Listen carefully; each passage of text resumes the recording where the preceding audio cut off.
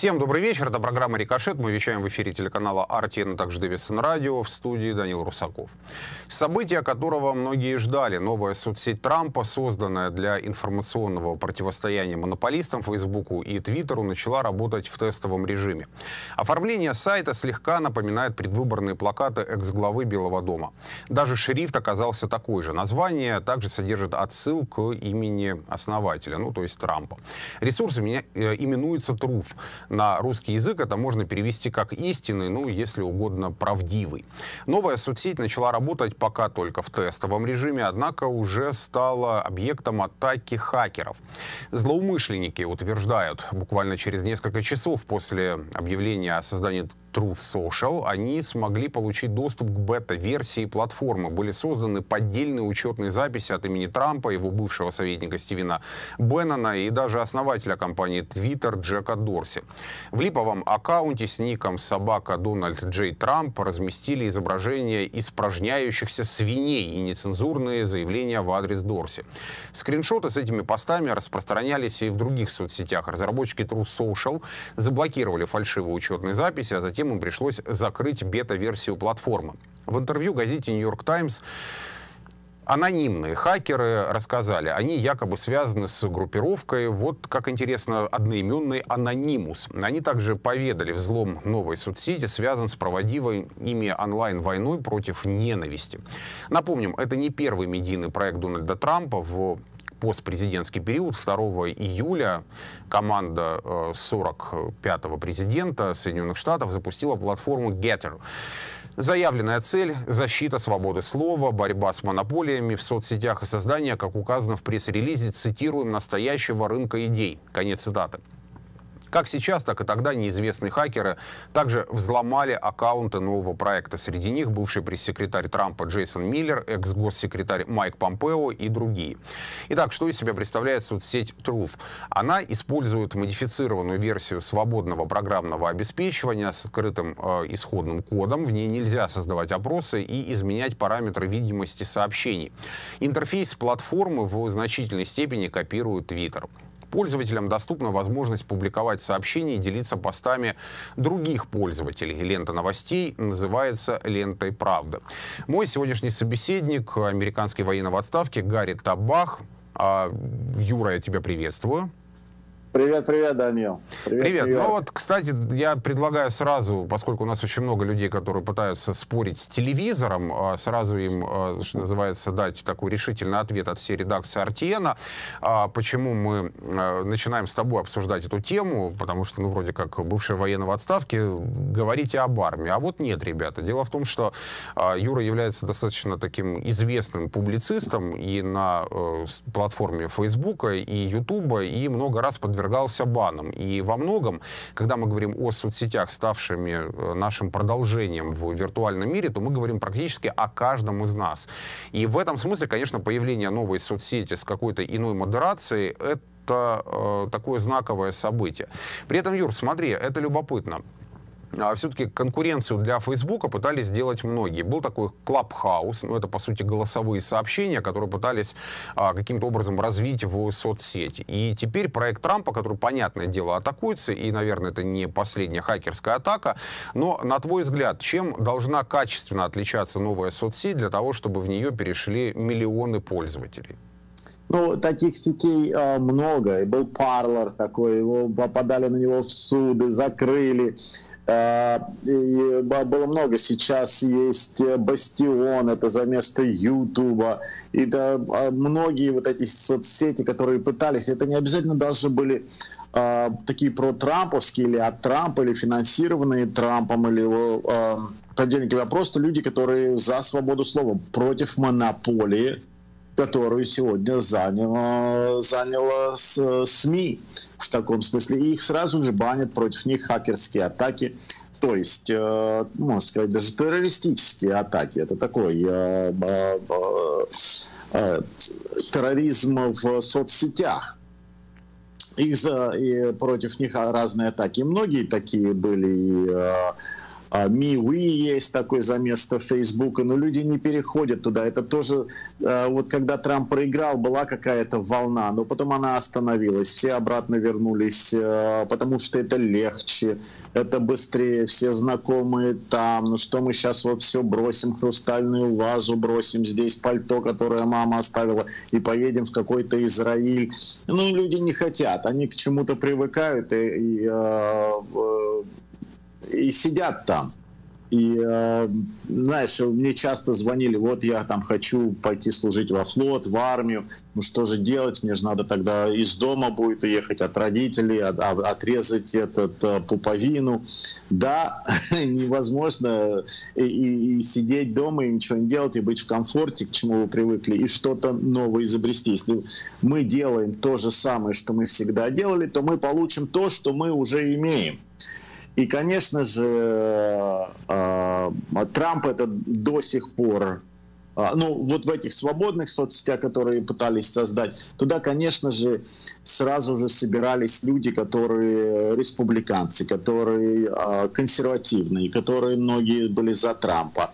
И, конечно же, эти соцсети создают опасность. Опять же, опасность, потому что Трамп — это опасность. Это опасность для большевиков, для Давоса, для соросцев он большая опасность. Они поняли, что они сделали ошибку и упустили это один раз, и чуть не пострадали из-за этого. И теперь они открыто говорят, что любой ценой надо от него избавиться, даже уже когда он не президент, все равно импичмент, все равно его банкротить, все равно суды против него, все равно все, кто э, что-то говорит за него, их банят. Банить на Фейсбуке, банить в Ютубе. Нельзя в Ютубе, например, одно из правил – это то, что ты нельзя говорить. Друг... Про другие страны можно, но про Америку нельзя говорить, что ты, может быть, подозреваешь, что выборы были сфальсифицированы. Это запрещено. Тебе дадут страйк, и твой канал закроют, если ты это скажешь. Поэтому надо все время надо говорить, что да, конечно же, у нас выборы прошли самые честные выборы во всем мире. И, и тогда ты остаешься. Конечно же, это все для них очень опасно. Поэтому любой ценой большевики взяли власть в руки. Они взяли телеграф, они взяли почтам. Голосование теперь у нас везде идет по почте. И власть они не отдадут. И даже что бы то ни происходило, и что мы не видим, уже показывают нам везде что мы не можем понять, кто управляет страной, мы не можем понять, что произош... происходит с нашими деньгами, а, цены, которые сейчас э, на свете, нас все равно СМИ утверждает, что это так должно быть, а было бы еще хуже, если бы был другой президент. Поэтому подстраивайтесь под то, что есть. И это не только в Соединенных Штатах Америки. То же самое происходит в Украине, то же самое происходит в Европе, то же самое происходит в Южной Америке. А, Давос нас достанет. А, а мы не организованы, мы не ходим на местные выборы. Вот сейчас будут местные выборы в Нью-Йорке, сейчас местные выборы в Пенсильвании будут. Я все время твержу, многие люди говорят, идите, голосуйте. Вы, э, э, в, наши оппоненты, наши враги, люди, которые пытаются уничтожить Америку, они ходят, голосуют, они дают один день своей жизни, чтобы быть наблюдателями, чтобы волонтер, э, быть волонтерами, добровольцами на выборных кампаниях. Но мы вот почему-то не можем, мы все время отговариваемся. То у нас работа, мы работаем, а они не работают. Мы платим налоги, а они нет. Вот именно и будете дальше работать, будете рабами их. Потому что не ходит, не участвуем мы в этом. А, выхожу в Майами на пляж здесь, они говорят, да, конечно, конечно, я не могу, у меня мама больная, мне надо ей лекарства в этот день давать или еще что-то. На пляж есть время выйти и на пляже просидеть весь день сутками. А вот пойти проголосовать нету, или там даже волонтеров нету времени. Так, наверное, ему устроено, циклично вот так вот ходит, что тяжелые времена создают сильных людей, сильные люди создают добрые времена, добрые времена создают слабых людей, э, слабые люди создают э, тяжелые времена. Вот э, мы, наверное, в этом цикле. Да, это, кстати, не, э, не, пер, не, не, первый, не первый раз, когда ты этот тезис озвучиваешь. А у меня вот будет, наверное, такой вопрос, если, ну, коль скоро 21 век. Ознаменован тем, что наша жизнь реальная продолжается жизнью виртуальной, то а, относительно вот этой вот новой социальной сети, которая существует, да, а, ну, понятно, что там для, для моего русского уха там лента правды название правда, оно вызывает негативную ассоциацию, но это просто исходя из культурного контекста той местности, откуда я, да и, в общем-то, большинство наших зрителей и слушателей происходят, они хорошо знают, что такое газета «Правда» и сколько правды там было, да. Но проект англоязычный, рассчитанный на э, все-таки американцев, да, для которых такой ассоциации не существует, поэтому, вероятно, слово «правда» в сознании их и слово «правда» в сознании нас, оно все-таки как бы немножко по-разному воспринимается. Но это лирика. А давай тогда все-таки от лирики подойдем к функционалу. На твой взгляд, то есть мы видим, что хакеры уже атакуют этот продукт. А мы видим, что э, это не первый продукт, созданный командой э, экс-президента, который подвергается... Причем эти хакеры, э, тут важное уточнение, да, которое нужно сделать, они же э, выходят с атаками на соцсеть под лозунгами социальной справедливости, борьбой с ненавистью и так далее. То есть все, все очень конъюнктурно. Все очень конъюнктурно и все очень сильно подпадает под реалии того, ну, скажем, пространства, заданные параметры, в котором мы сейчас все находимся. А, на твой взгляд, вот эта вот новая соцсеть, это очень важный момент. Модерация, она должна быть какой? Это должна быть площадка, которая предоставляет всю палитру мнений, где существует, условно говоря, и правые, левые, центристские взгляды, и никакие из них не могут баниться по признаку свободы слова, либо мы пришли сейчас к такому пониманию, что нужно выстраивать для э, людей площадки по клубам. То есть если кто-то относит себя к либертарианцам, э, к, ну, это вот мы с Юрой к либертарианцам относим себя, да, я просто сразу всем говорю, заявляю, что я ни разу не консерватор, да, я не, не фанатик э, там религии и так далее, да, то есть я наоборот за светское научное общество, ну вот либертарианцы нам с Юрой так получилось, что близки. Так так вот, а, это должна быть платформа идеологизированная, либо эта платформа должна себя противопоставить тому леволиберальному тренду, в котором появляется цензура. Это важный вопрос. Вот на твой взгляд, какой правильный ответ здесь есть? Вот смотри, я думаю, что правильного ответа нету. Я, я не, не могу так философски подходить к этому, потому что я человек не творческий, как ты. Я просто хочу, чтобы было по закону. Вот у нас есть закон. И закон есть, что радио и телевидение, оно регулируется государством. И какие-то вещи нем можно говорить, а какие-то нельзя говорить. И есть CNN, и есть факс, противостоит которому. Есть баланс в этом.